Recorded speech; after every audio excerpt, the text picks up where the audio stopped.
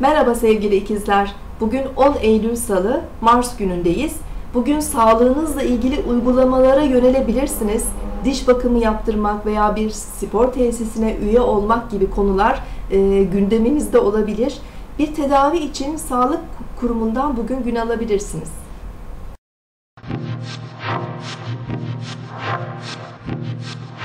Burcunuzu dinlediniz. Bugün 10 Eylül Salı, Mars günündeyiz.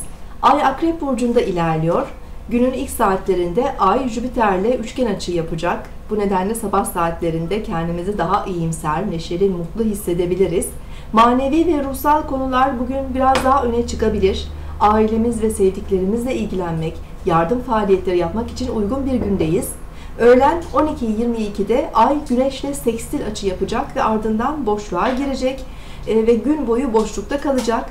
Karşı cins ve otorite kavramları ile ilişkilerimiz bugün daha olumlu ve verimli ilerleyebilir. Yarın tekrar görüşmek üzere. Hoşçakalın.